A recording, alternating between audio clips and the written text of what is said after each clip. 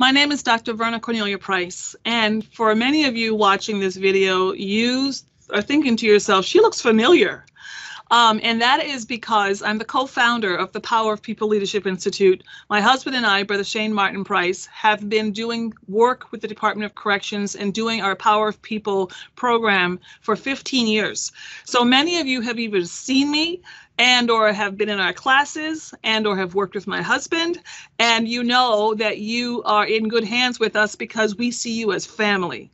Uh, many of you also probably have either, either read my book, The Power of People, Four Kinds of People Who Can Change Your Life, and or have been talked to about this book, and or have sent this book to your family. And I keep saying family because this conversation I want to have with you this morning is really about family. I am talking to you like I am a mom, a sister, um, a, a friend, a family member about a really, really important topic, and the topic really is about the COVID 19 vaccination. And in my conversation with you, here's what I want you to know I did not want to take the vaccine at all, not whatsoever. Now, for those of you who know my husband, um, you know Brother Shane Martin Price was right on it. And he was right there to say, sweetheart, um, it is time for us to take seriously look at this vaccine. We got to make sure that our pop guys, and for those of you who've been in our courses, you know what that means. You're a pop guy. That our pop guys are safe, that they're protected, that they're that they're healthy, that their families are healthy. And so we all have to come around and make sure that we are taking care of ourselves and that we are taking precautions to make sure that we are healthy and our family and community is healthy. So my husband was the first one to jump right on board and he took the vaccination and he was just fine and everything, but I still was a little hesitant. And I needed to know more. I needed to understand more. I need to be educated more. So we we met a, a, a nurse, and her name is Nurse Kelly. And Nurse Kelly, um, uh, she'll tell you more about herself. You'll get to meet her in a minute, actually. Um, she is with an organization called Black Nurses Rock. And Nurse Kelly personally came to our office and she sat down and she spoke with us. And Nurse Kelly had no idea that I was not really, really um, on board with the vaccination. Even though I want to protect my family, I want to make sure we're safe, I'm healthy and whole, the whole thing. But I need more information. And I can tell you, Nurse Kelly sat me down as an African American female nurse, professional, health professional, and she explained the whole thing to me. And when she was all said and done, I just said thank you. But when we had our vaccination clinic, I signed up personally to take my vaccination. So, what I'm saying to you, my sons, my brothers, my sisters, is I want you to seriously consider it and know that the vaccination is about your health and your well being, and it's about your family as well. So I want to introduce to you now Nurse Kelly. I call her Nurse Kelly. She has a real full name. She'll introduce herself properly. But I want to just talk with you a little bit about what it is and why this vaccination is so important to you. Nurse Kelly? Thank you, Dr. Verna. I am Kelly Robinson. I've been a practicing nurse now for 27 years.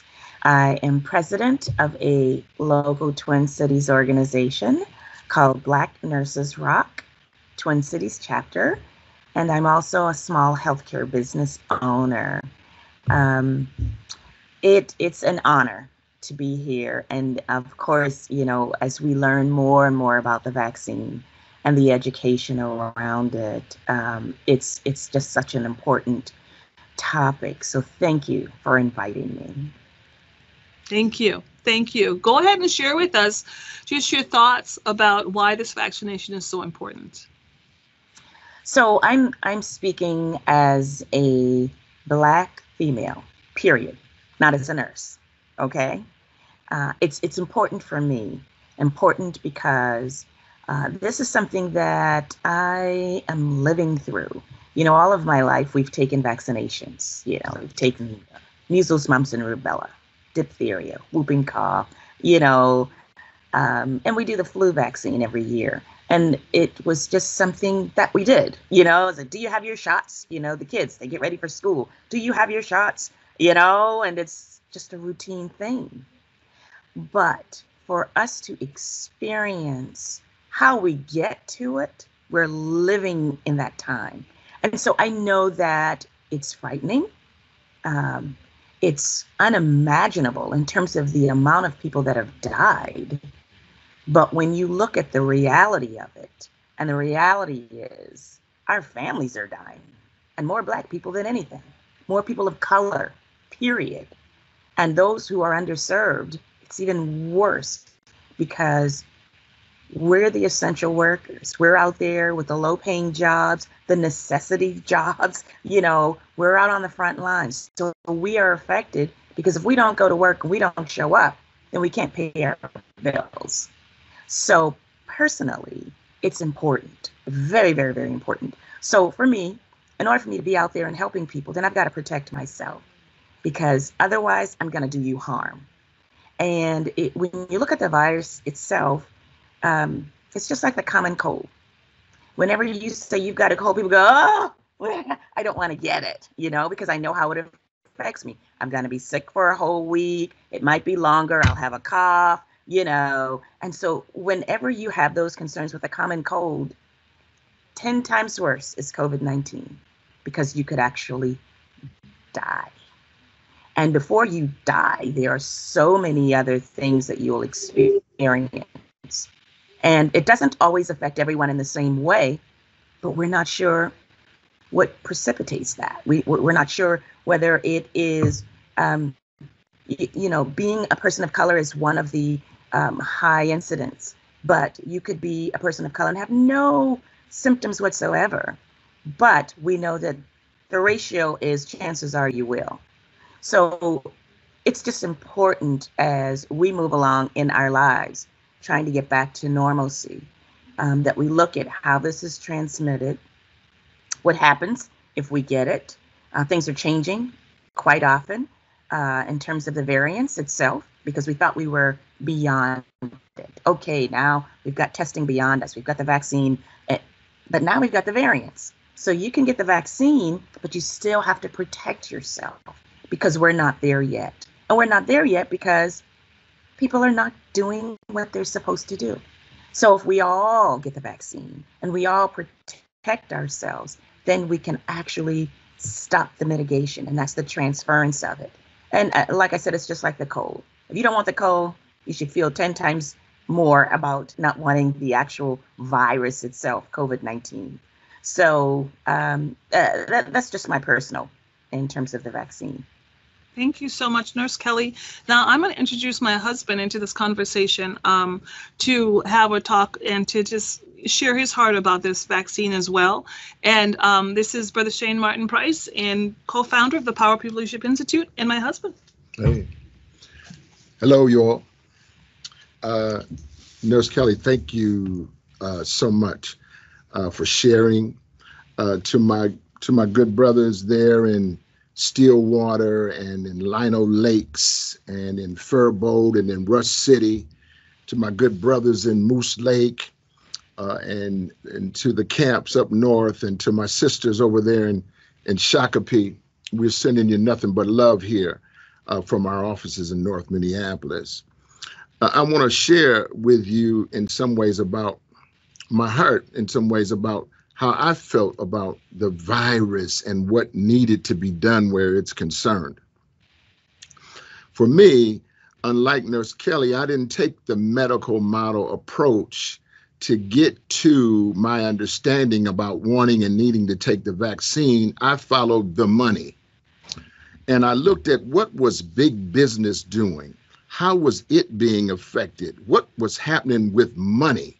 Uh, the money changers. And I saw American Airlines and United Airlines and, and all the other major airlines shut down, flying nobody, getting no money. I saw uh, France and and Germany and Italy, those those communities and nations who rely totally on tourism, shut the whole nation down, meaning there's no flow of the money and and I looked at uh, the businesses in the downtown Minneapolis area and St. Paul area that were shut down. Staff were scattered. Some were let go uh, because the virus was so impactful. Um, I looked at the money. And when I realized that money was suffering, I understood that the virus wasn't a conspiracy as as sometimes we want to think these things are. And we're not always wrong. But in this case, when I followed the money, I realized that the, the vaccine was something that I needed to take and that I needed to be a responsible leader over the pop guys, the Power of People Leadership Institute men, uh, those guys who I've been working with over the many years, inside and out. We're 66 men strong.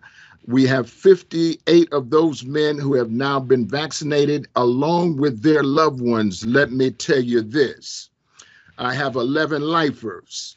Uh, the, the longest serving lifer has served 38 years.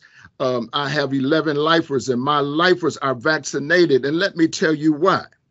They didn't want to spend that much time in incarceration and make it out with a sober and sane mind and then be impacted, infected, or or killed off as a result of the COVID-19 virus. And so my lifers are are are vaccinated uh, with Pfizer or Moderna, and and I, I want you to think carefully before you uh, poo-poo it off as if it isn't anything, or that somehow your ego or your arrogance won't allow you to get to a place uh, to get over your true fear about the about the vaccination. Wake up, everybody! It's time to get that vaccination and stop playing games. Uh, we have a, a model that we that says we are the help that we have been waiting for. Nobody else is coming. This is why we were convinced that we had to uh, share this information with you because we recognize that we are the help. And here we are loving on you, but giving you clear information it's time to stop playing games if you want to come home safe.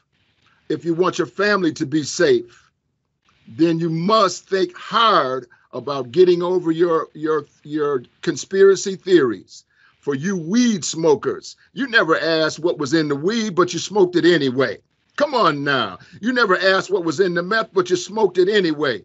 But now all of a sudden you become so conspiracy orientated that you don't recognize that you're flirting with your own disaster. We are the help that we have been waiting for, and nobody else is coming. And in some cases, the vaccine isn't even being offered in every institution. Read up on Michigan and what's taking place there as a state and as an institutional population. Read up, do your research, and know that we're still waiting here for you us pop guys.